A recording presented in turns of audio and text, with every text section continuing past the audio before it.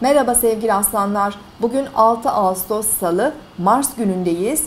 Bugün oldukça enerjik olabilirsiniz. Duygu yoğunluğunuz da çok fazla. E, gün içerisinde uzaklardan, e, yurt dışından ilginç, değişik haberler alabilirsiniz. Bir süredir görüşmediğiniz bir yakınınız, akrabanız veya arkadaşınızla da ilgili e, bugün haber almanız mümkün olabilir.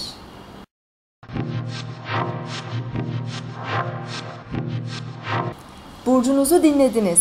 Bugün 6 Ağustos Salı, Mars günündeyiz. Ay Aslan Burcu'nda ilerliyor. Güne canlı, özgüvenli ve yaratıcı enerjiler veriyor. Sabah erken saatlerde Ay Satürn kare açısı bazı sorumluluklarımız nedeniyle biraz karamsarlık ve sıkıntı verebilir.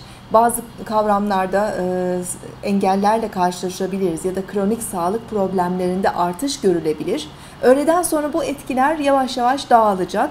Akşama doğru Ay-Uranüs arasındaki üçgen açı sürpriz, heyecanlı gelişmeleri hayatımıza katabilir. Seyahatler, yeni tanışmalar, e, misafirler e, daha keyifli dakikalar geçirmemize imkan verebilir.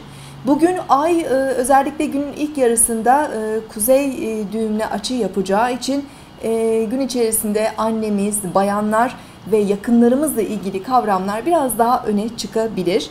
Jüpiter-Plüton arasında kare açı bugün e, etkinleşiyor. Jüpiter-Plüton kareleri genellikle uzun vadeli önemli dönüşümler için büyük enerjiler veren e, açılardır.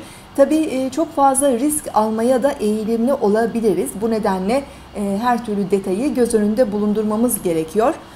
Bu gece gece yarısı 0.50'de Ay ve Güneş Aslan Burcu'nun 14 derecesinde kavuşacak ve bir yeni ay doğacak. Yarın tekrar görüşmek üzere. Hoşçakalın.